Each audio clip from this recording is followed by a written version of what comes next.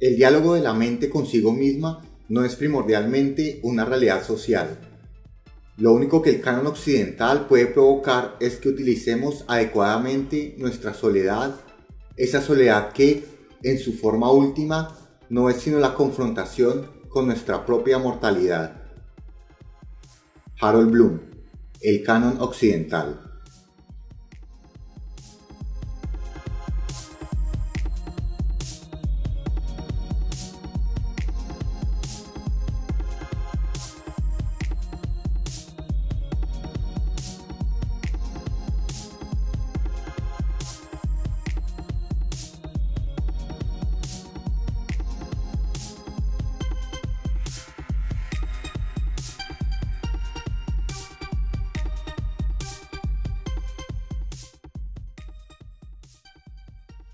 Cuestiones más polémicas y difíciles de abordar con respecto al ámbito de la literatura y que de cierta forma puede extenderse al dominio de otras artes en cuanto a dinámicas de crítica, defensa y difusión es el llamado canon literario.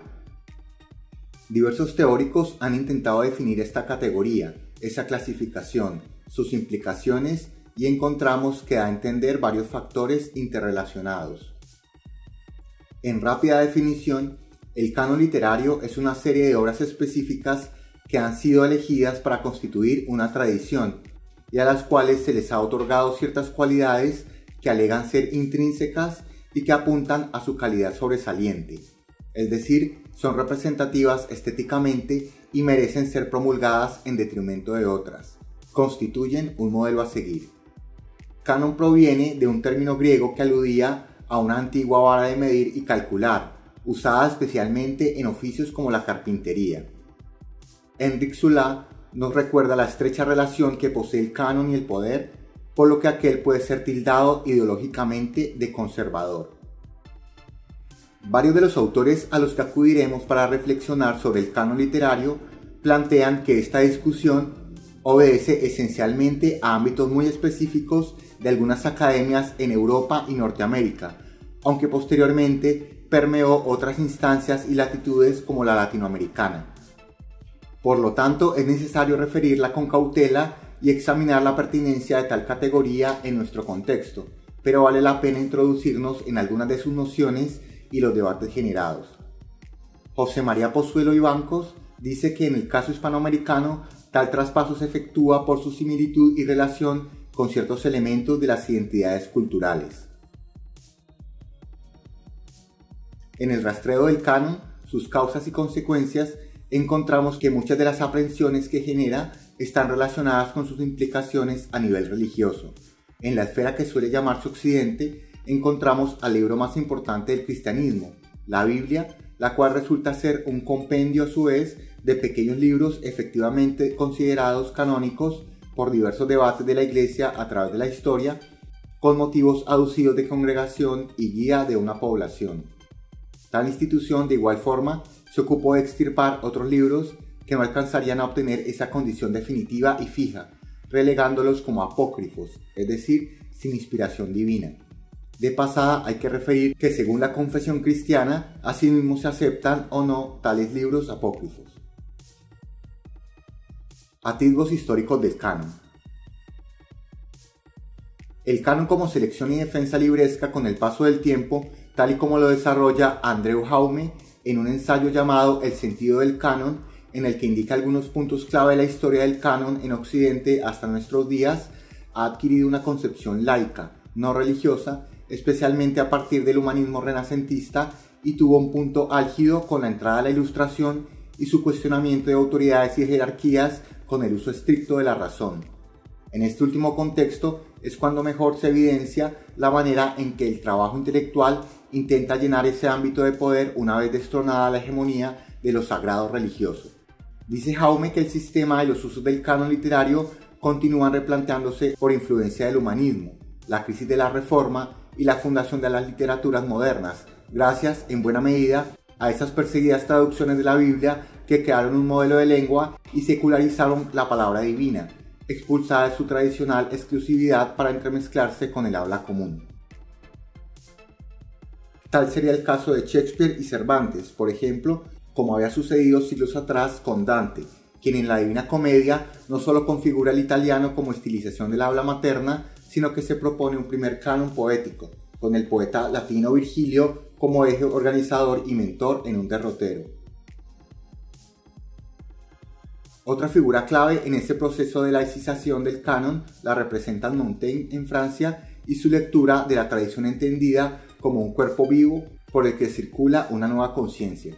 Valga mencionar el caso de Martín Lutero, que aunque integrado siempre en la esfera religiosa, ayuda a configurar la lengua alemana moderna a partir de su trabajo de traducción y difusión bíblica. Jaume menciona también la importancia en el siglo XVIII de Samuel Johnson en el ámbito inglés y su arduo y solitario trabajo como comentador literario de figuras como Shakespeare y Alexander Pope, sus pugnas con los libreros de la época y el tipo de obras que estos se empeñaban en comercializar y el caso de Goethe en Alemania, su consabida idea de la literatura mundial en contrapunto al surgimiento de las literaturas nacionales. En el romanticismo, época de acentuación de lo subjetivo frente al objetivo, de nuevo retoma interés el concepto de lo sublime, extraído de textos clásicos como el atribuido a Casio Dionisio Longino, titulado precisamente de lo sublime, el cual es, junto con la poética de Aristóteles, una de las obras más importantes de estética de la antigüedad. Este tratado es una larga discusión acerca del estilo de retórica considerado elevado, que tiene el propósito de encantar a la audiencia por su capacidad de potenciar la sensación y desbocar las emociones. De manera que esta búsqueda de lo sublime sigue persistiendo a través de una suerte de voluntad crítica que organiza el canon laico y pretende ofrecer pautas en la manera de componer literatura, se ocupa en delimitar algunas características que entrañan calidad y talento aunque los tiempos vayan cambiando. Cánones y destrucciones en el siglo XX. En el siglo XX el trabajo del canon, su establecimiento de jerarquías y su sentido de autoridad va a ser afectado en la conciencia europea y su hegemonía, según Jaume, por el holocausto y sus nefastas consecuencias. Una vez se comprenden los estragos a todo nivel, cometidos durante las guerras mundiales y las ideologías y proyectos que contribuyeron al desastre, es cuando gana espacio un cuerpo teórico que se propone interpelar con más ahínco al canon tradicional y el sentido de autoridad con valores extraestéticos como la raza, el sexo o la identidad. Las corrientes estructuralistas, marxistas, deconstructivistas, psicoanalíticas, semióticas o feministas que invadieron la universidad pretendieron sustituir el vacío de lo canónico y desembocaron en los llamados estudios culturales, de paulatino crecimiento en el espacio académico, sobre todo en Estados Unidos e Inglaterra, con el consiguiente influjo en el resto de Occidente. Estas vertientes conciben el canon como un lugar de privilegio generado por decisiones políticas y de voluntad expresa de marginación social que supone el acallamiento de otras voces. El mecanismo, dice Jaume, sin embargo, no deja de ser perverso, pues condena a los marginados a seguir intelectualmente supeditados a ese orden del mundo, exento incluso del grado de complejidad necesario para entender esas exclusiones. Los estudios culturales harán entonces frente a otras posturas tildadas de conservadoras y que abogan por abanderar ideas más agudas de especificidad literaria. Algunas disciplinas de estudio, como la literatura comparada, en la cual juegan un rol importante cuestiones como las que atañen a la traducción, contienen autores y posiciones tanto abiertas como cerradas con respecto al canon. Autores como Armando Nisi hacen énfasis en las posibilidades de diálogo de literaturas provenientes de diversos lugares del globo, pero teniendo cautela con respecto a las teorías de cierto contexto que pretenden implementarse en otro, para que este proceso no se reduzca a una moda generalizada. En este sentido, Nisi plantea la constatación de ideas que pueden compartir dos seres humanos que ni siquiera se conocen, pero que han llegado a un lugar de pensamiento similar por caminos distintos. Los críticos literarios afines a los estudios culturales priorizan además las discusiones sobre lo colonial y las industrias culturales dominantes, el neoliberalismo y la globalización, así como ciertos modelos teóricos tomados del ámbito económico. Las miradas abarcantes, en cierta forma difusas, pero de inclinaciones muy partidarias, son las más recurrentes dentro de estas corrientes, mientras que los aspectos psicológicos, formales, estéticos y hasta existenciales, como señala Ana María Ochoa en un ensayo, son más bien esquivados.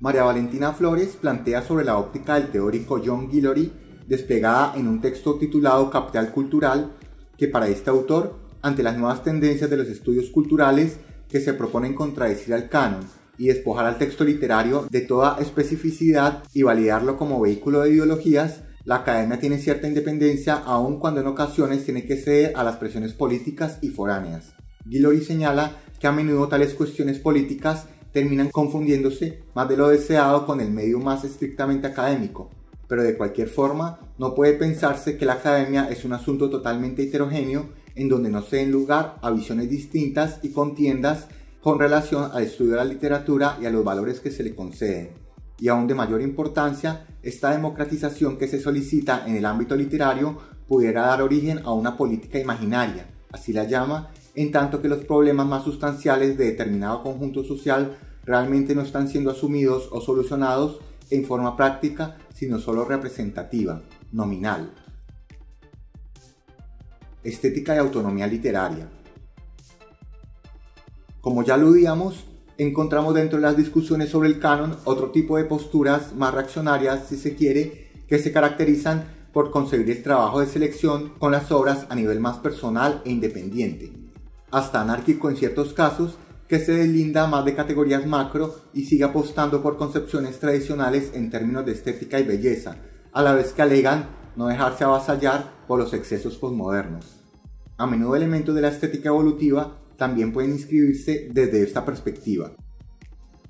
De las figuras más significativas de estas vertientes, no pocas veces radicales y con cierto ánimo de polemizar, encontramos al inglés Harold Bloom con su obra precisamente titulada El Canon Occidental, en la cual hace una selección personal de obras, a su juicio más importantes que otras, reflexiona sobre ellas, toma posición con respecto a los modos de lectura y crítica literaria y a su vez manifiesta bastante sospecha por el enfoque de los estudios culturales. Para Bloom, el trabajo de validación y cuidado de ciertas obras que se promulgan y comparten es de índole más bien individual, solitaria y deja de lado las implicaciones políticas. Como señala José María Pozuelo y Bancos, Bloom fundamenta que el canon se ejecuta en el interior de sí mismo y al margen de su socialización. David Jiménez señala que el leitmotiv de la obra de Bloom es que no basta la conservación académica del monumento literario si la obra no vive en el lector, si no se hace acontecimiento individual, interior. El espacio verdadero del canon literario es el teatro de la memoria, el rescate y la preservación de contenidos valiosos más que un listado de obras famosas en el plan de estudio de una institución escolar. Si no hay sujeto, no hay canon.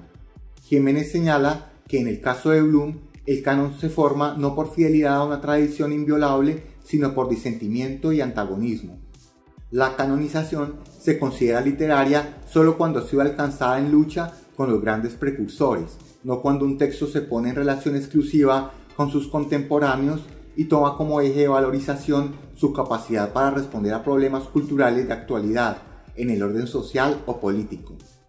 La validación estética solo se da en el sentido que desarrolla Harold Bloom dentro de parangones con los textos literarios del pasado. La ilusión de la modernidad es la ilusión de que la literatura puede liberarse de la literatura, sentencia Bloom. Literalmente escribe David Jiménez sobre el caso de este crítico inglés. Canon, una palabra con fuerte carga teológica y social en sus orígenes, sirve hoy para designar un fenómeno que Bloom interpreta como una pugna entre textos por su perduración, en contraposición a quienes lo interpretan como una elección hecha por los grupos sociales dominantes, por instituciones pedagógicas o eclesiásticas, o incluso por las tradiciones de la crítica. El valor estético se configura en un proceso de influencia intrínsecamente artística. Tal influencia contiene, sin duda, elementos sociales, culturales y psicológicos y su producción puede estar sometida al juego de las fuerzas históricas, pero no es lo económico o lo social lo que determina la supremacía estética. Para Bloom, se pertenece al canon de los grandes exclusivamente por fuerza estética y esta contiene en una amalgama de maestría figurativa en el lenguaje, originalidad, poder cognitivo y exuberancia de dicción. Desde algunos flancos, como era de esperarse, la obra de Bloom se atacó como opresiva y elitista, en gran parte debido a la reducida lista de libros que proporcionó en su libro, la cual ganó más interés que el desarrollo teórico de su postura y se adujo que no daba espacio suficiente a otras geografías y producciones literarias, Valga resaltar que autores como Jorge Luis Borges dejan ver posiciones muy similares con respecto a esa soledad y recogimiento casi monástico en la reproducción de ciertas lecturas y gustos al momento de reivindicar los llamados clásicos de literatura. Literalmente dice que la gloria de un poeta depende en suma de la excitación o de la apatía de las generaciones anónimas que la ponen a prueba en la soledad de sus bibliotecas. Clásico no es un libro, lo repito, que necesariamente posee tales o cuales méritos. Es un libro que las generaciones de los hombres, urgidas por diversas razones, leen con regio fervor y con una misteriosa lealtad. Conclusiones o comienzos sobre el canon.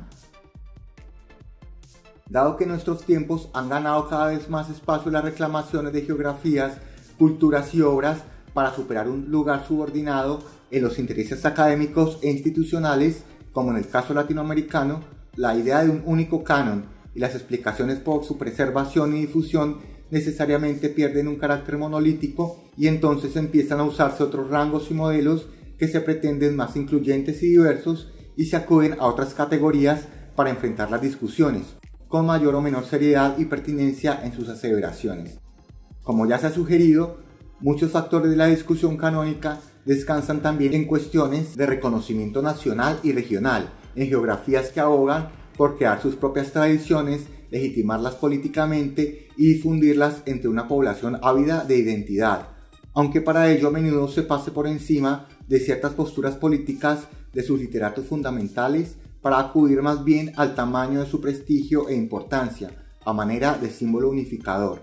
Las cuestiones literarias vistas desde este flanco pueden perder el foco y el reconocimiento con respecto a otras latitudes y modelos foráneos de la literatura, es decir, el diálogo se restringe por motivos de preferencias casi chauvinistas y de horizonte limitado, lo cual reduciría a los sectores de la crítica a guetos autocomplacientes encerrados en una burbuja y de dudosa influencia por fuera de ella.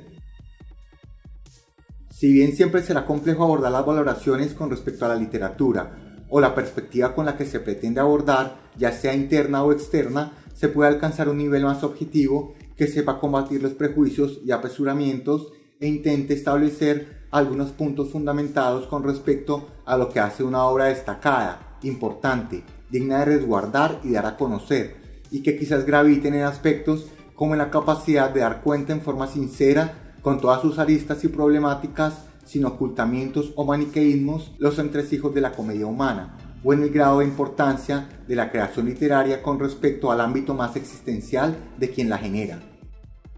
En una obra determinada, dentro de un conjunto grande de otras, leídas para efectos de comparación, puede entreverse cuánto tiempo y esfuerzo denota en su composición, en la profundidad de su poder cognitivo, al decir de Harold Bloom, y meditar en qué medida es capaz tanto de ignorar o de conocer la tradición, de incorporar influencias, como de superar clichés e ingenuidades para erigirse no solo en otra obra más, sino en una que logre ser de tipo revelador, especial. Y todo esto no se logra con perspectivas mutiladas, sino a través del diálogo constante, el enriquecimiento mutuo o el interés por hacerse a un bagaje amplio que permita más elementos de apreciación y juicio para abordar las condiciones humanas plasmadas en sus producciones estéticas. La escritura, la literatura, las artes, las culturas, obviamente son asuntos humanos, no extraterrestres, y responden a génesis y objetivos creativos y vivenciales con notables similitudes y encuentros, como ciertas ideas de tipo antropológico o filosófico se ocupan de estudiar en su convergencia desde todas las latitudes. Como dice Jaume, a despecho de las múltiples operaciones para desplazarla, la literatura es el mejor instrumento para interrogar al mundo.